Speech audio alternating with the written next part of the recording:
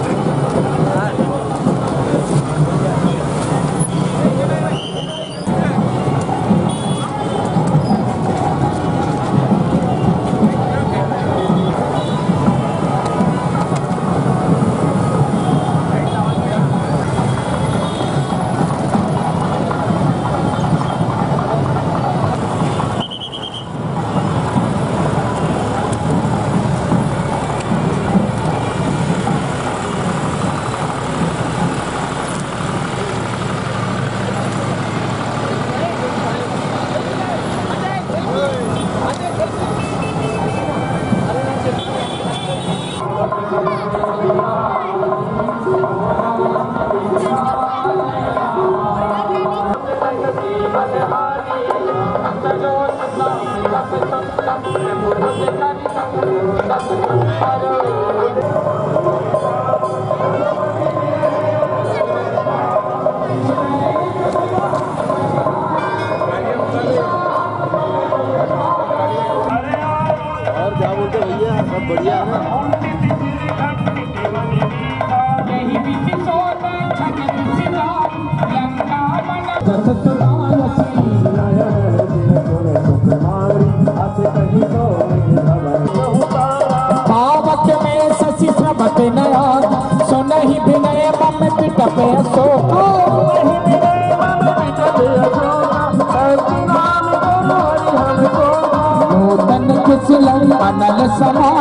देवी अगन कन करहिन गाना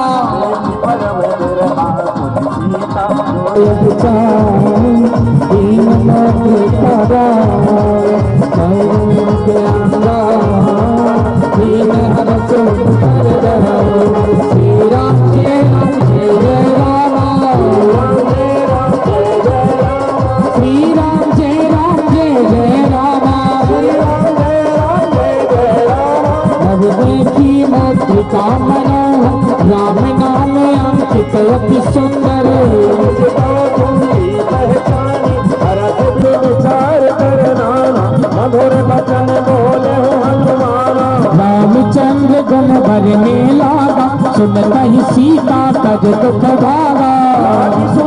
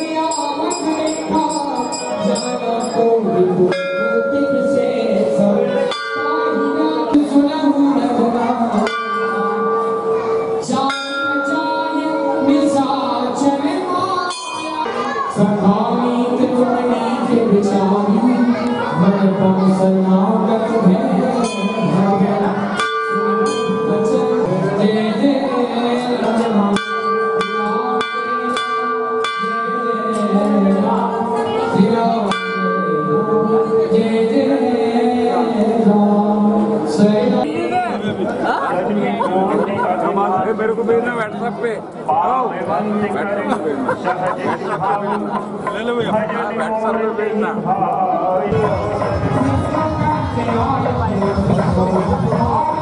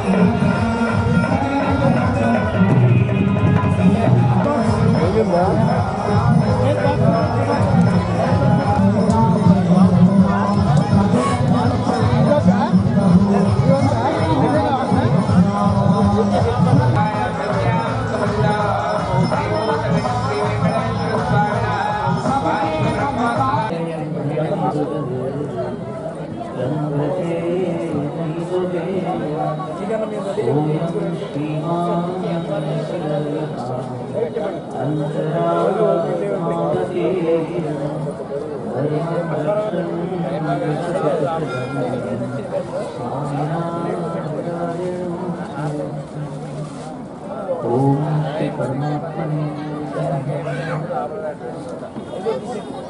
अनंत कोटि ब्रह्मांड नायक राज राजेश्वर भगवान बालाजी के श्री चरणों में कोटि नमस्कारांजलि अर्पित करते हुए माँ श्रीदेवी, भूदेवी तथा समस्त ब्रह्मवृंद यहाँ पर आचार्यगण साक्षात वेद मूर्ति के रूप में विराजमान है और आचार्य श्री के श्री निर्देश में बड़े ही भव्यता के साथ दीर्घता के साथ वेद कार्य संपन्न करते हुए भगवान बालाजी जब से चंद्रपुर नगरी में विराजमान हुए इस स्थान को तीर्थत्व प्राप्त हुआ और जहाँ पर भगवान बालाजी का स्थान होता है, वह नगरी वैकुंठ सा ऐश्वर्य प्राप्त करती है।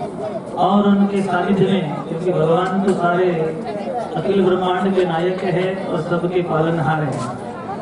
और उनकी परम क्रिया शक्ति और धारणा शक्ति के रूप में माँ श्रीदेवी और भूदेवी यहाँ पर विराजमान हुई और हम सबको ये सौभाग्य प्राप्त हुआ है, जो यहाँ पर चंद्रपुर शहर के लोग नायक रहे, ऐसे माननीय श्री नरेश बाबू जी उगलिया और इनके समस्त परिवार तथा भगवान बालाजी के सभी श्रद्धावान भक्तजन जो चंद्रपुर में इनकी आराधना कर रहे थे और यहाँ से दौड़ दौड़ कर तिरुपति बालाजी दर्शन करने जा रहे थे, इन सब की मानव दिव्य प्रार्थना को स्वीकार किए और आचार्य जी के निर्देश से इनकी प्रार्थना से और इनके दिव्य मार्गदर्शन से वेद ध्वनि के साथ भगवान यहाँ पर विराजमान हुए। तब से लेकर निरंतर स्थान का और स्थान के साथ साथ चंद्रपुर वासियों का ऐश्वर्य बढ़ता जा रहा है। आशीर्वाद सबको प्राप्त हो रहे हैं। जो भी भक्त यहाँ पर पधार रहे हैं, इनकी मनोकामनाएँ और इनकी भक्ति सिद्ध होती नज़र आ रही है। और साथ ही साथ दो वर्षों में निरंतर यहाँ पर सेवा, अर्चना, उपासना, भक्ति, ये चलती रही और स्थान को वृद्धि प्रदान करते हुए इस वर्ष आंजनेय स्वामी श्री हनुमान जी महाराज का यहाँ पर पदार्पण हुआ। यहाँ पर गरुड़ जी महाराज तो पहले ही थे, किंतु भगवान के प्रतिनिधि के रूप में उनका कार्य बढ़ाने के लिए, पवन के वेग से हनुमान जी महाराज भी स्थान पर पधार गए हैं। तो देखते देखते शक्ति और भक्ति दोनों का समन्वय यहाँ पर हो रहा है। और की तो समझिए कि आपके करने का एक सुगम अवसर आपको मिला। किंतु मनुष्य का मन बड़ा चंचल है, निरंतर भगवान की भक्ति में लगता नहीं। तो यहाँ पर भगवान की इस प्रकार से दिव्य मूर्तियों की प्राण प्रतिष्ठा होती है और उनकी निरंतर अर्चना होती है इस प्रकार से जो भगवान यहाँ पर विराजमान हो जाते हैं। तो साधक हो, इस संसार का कोई गृहस्थ हो, कोई त्यागी हो, कोई सन्यासी हो, कोई योगी हो, कोई विद्यार्थी हो, कोई व्यापारी हो, किसी भी प्रकार का व्यक्ति यदि भगवान की इस सानिध्य में आता है, इन चरणों में आश्रित लेता है तो उसको वो सौभाग्य प्राप्त होता है कि भगवान इस कलिकाल में साक्षात अवतरित हो इतनी भक्ति हमारे पास नहीं है, किंतु अवतार के रूप में भगवान की अर्चना विग्रह के सानिध्य में जब हम लोग आते हैं, हम भले ही उस विग्रह की नित्य उपासना अर्चना न कर सके, किंतु मंदिर में इन वेदाचार्यों के द्वारा उसकी नित्य उपासना होती रही है तो वह भगवान वहाँ पर विद्यमान रह करके हम भक्तों की प्रतीक्षा करते हैं। इस ब्रह्म महोत्सव के द्वारा हम सभी चंद्रपुर वासियों को इसी के साथ भव्य दिव्य उत्सव की सफलता को प्राप्त हो और इसके द्वारा सब